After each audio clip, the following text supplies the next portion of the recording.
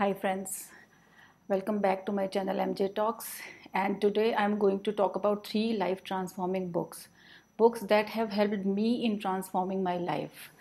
So uh, number one is uh, this book this is already uh, an international bestseller the monk who sold his ferrari. Uh, you can find its hindi version as well ek sannyasi jisne apni sampatti bech di something like that so uh, this this is the book you know before reading this book before this book came into my life i was a wanderer. And i was a very very restless soul.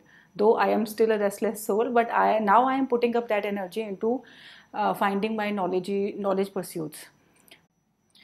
The author of this book is robin sharma. I forgot to tell about uh, that. Second thing is ki, uh, this book is not meant for you if you have already found peace in your life or if you are a very scholarly person. So this is written in a very simple English and a very nice, good to read book. But it can transform your life. That is what I can assure you. Second book is this Many Lives, Many Masters by Dr. Brian L. Weiss. He's a psychiatrist working in um, Miami, Florida, in US. Uh, this book is about past life regression. Again, we cannot uh, prove it rationally that past life, lives exist, but uh, again i will request you to uh, go beyond rationality as well. So this is this is the book which motivated me to know more about the karma philosophy uh, to dive deeper into uh, religious philosophies you can say. Uh, this book motivated me to peep into jain philosophy actually.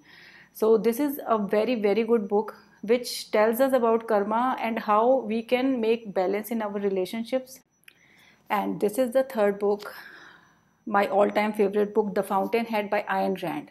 Uh, this is kind of a book I can go on and on and on about it. This is such a wonderful book that has taught me the real meaning of religion. That has taught me that that actually this book actually reopened my eyes when I studied when I came into touch with Jain philosophy.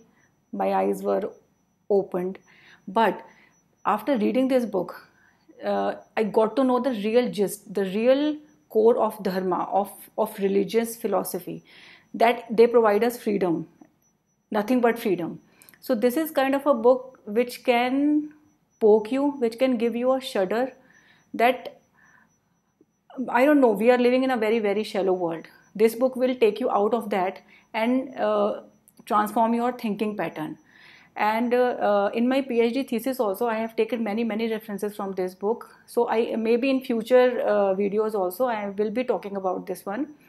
And my next video is going to be about this book again and hindi literature how hindi literature uh, played a very important role in stabilizing my thoughts.